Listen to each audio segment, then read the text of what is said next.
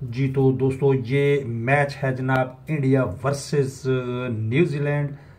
तो न्यूजीलैंड ने जनाब इतनी अच्छी फाइट की कि जब मिचल जो है ये हंड्रेड प्लस के ऊपर पहुँच गया और उसका जो पार्टनर है वो भी सिक्सटी नाइन पे पहुँच गया तो उस वक्त जो हालात थे वो देखने वाले थे। और ये जो रोहित शर्मा है जनाब, इसके मुँह के ऊपर जो है ना खुशकी आनी शुरू हो चुकी थी। लेकिन आखिरकार बाल को चेंज किया गया है वल्ला आलम क्या इन लोगों ने कर लिया?